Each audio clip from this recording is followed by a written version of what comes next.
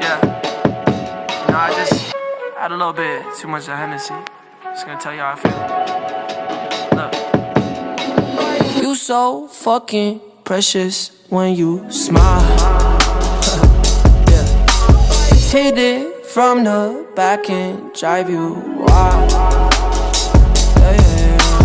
Girl, I lose myself up in those eyes. I just had to let you know you're